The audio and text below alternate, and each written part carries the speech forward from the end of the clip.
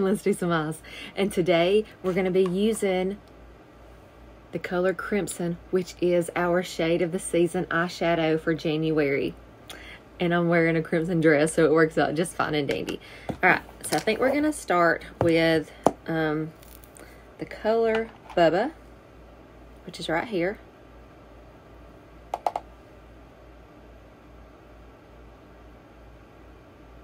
Bubba goes with everything. And looks good on all eye colors. So that is Bubba. And next we're going to use Riviera. We're going to put that right on the lid. It's a really pretty champagne gold color.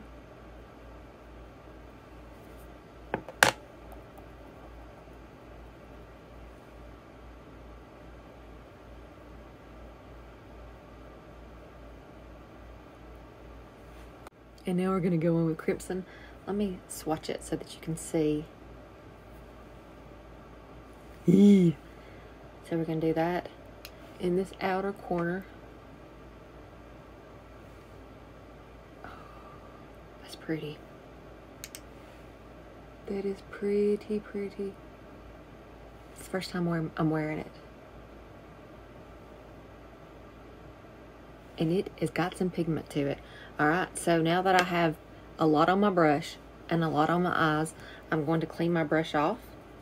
While this little tile here is so good, and then I will blend it. Okay.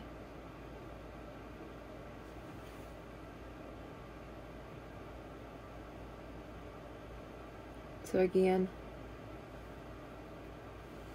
that is the color Crimson. And then we're to do a little bit of filly underneath the eye. Just a little. And then we're going to kind of, just in that very outer corner, do a little bit of filly as well. Not a lot, just a little. Just to deepen it a little bit. Okay, and then we're going to blend that together too.